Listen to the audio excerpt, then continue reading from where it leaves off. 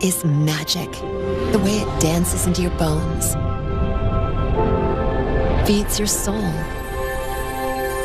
And then comes up for air in the stars above. It's amazingly beautiful, yet so simply understood. Shared across generations, across time,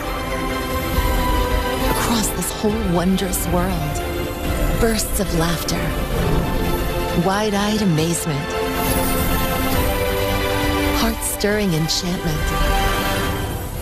These things unite us, elevate us, and pull us together in a way nothing else can. Because if we continue to surround ourselves with wonder, we will always find each other.